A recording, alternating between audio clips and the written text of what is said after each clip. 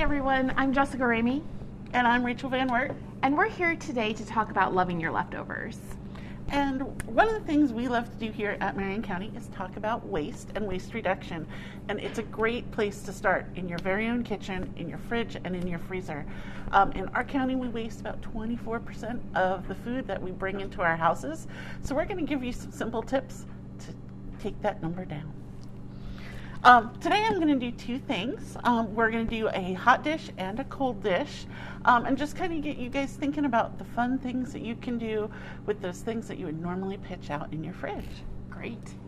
So, um, you have a container here. Here's the container. Tell me what you put into this. Okay, so this is what I call my catch-all. Um, it is really solid glass. It um, has a really thick lid. You can kind of shove it in all around your fridge and your freezer. And what I do every day is if we have some scraps of vegetables or meat on a bone, I just throw it in here. And when I'm ready, I make stock. And then what I do with my stock is I use it to add to rice dishes. I bring it for yummy soups for my lunches. Um, and we just use it all over the house, um, all over the kitchen just you know every day for other food and it cuts down on our waste and it tastes yummy. Um, we're going to do it today in an instant pot. That's not needed though. So if you have a crock pot do it that way. If you don't have a crock pot put your um, pot on the stove add your water. You're going to bring everything to a boil for about five minutes then let it sit there for a couple hours. Um, these fancy dancy tools are great. I love them but they're not needed to protect your leftovers and use them again so should we start? Great. I would love to see it. All right. So today we're going to actually do a vegetable chicken stock. Um, as you guys can see, I have some carrots that are a little bit limp and probably not going to have the crunch, especially if you have a toddler. They're going to go, ah, don't want it.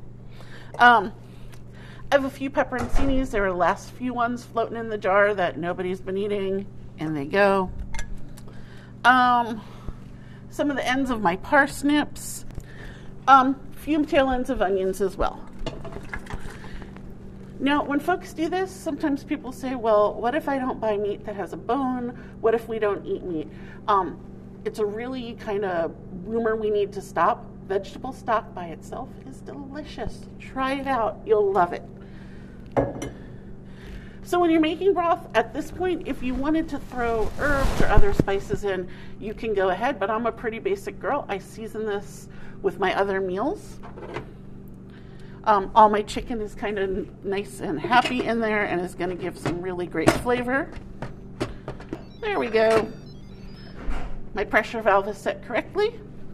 Um, for a crock pot, you can, like I said, you can let your uh, broth stay all day. Um, Instapots are great. I go ahead and I set it actually for my meat uh, soup. I do it for 45 minutes for a kind of a quick fix. If you really want to kind of get all the nutrients out of the bones, you could do it for an hour or run it through again. Um, your choice. And here we go. Our broth is started. I learned this little tip from a friend of mine that has toddlers. Uh, and I actually was fed this by um, my two year old niece, and I love them, and I got the recipe, and I just kind of made them a little more adult friendly for um, my family and our life. And so, what this is, is um, some folks may have experienced this. You buy yogurt, you have really great intentions, and then coming close to that date where it's getting a little funky, you still have half a tub of yogurt. Um, so what we've done with these is that we have made little, I'm going to put this out on my hand. Um, I have a little silicone mold and it's heart shaped and I just take the yogurt, I blend it up with some whatever fruit is in my house that kind of needs to go. Um, I have some fancier ones in here that, um, because it was Valentine's Day, we added last week some chocolate chips. And I just sit these in the mold, let them freeze for about two to three hours, pop them out of my mold, and it's a silicone mold, so it's non-stick. And then I just toss them in a mason jar, toss them in the freezer, and when someone wants kind of a yummy treat, they take a bite. Um, again, if you don't have silicone molds, if you have muffin tins, um, you could even do these in just little mounds and drops on a cookie sheet um, with some wax paper or a silicone mat and freeze them and then just put your drops away after they're frozen. So, great treat, tasty treat, loving your food waste, loving your leftovers. So, if you want some more information about all the things we do here at Marion County, um, mcrecycles.net and have a great Waste Less Wednesday.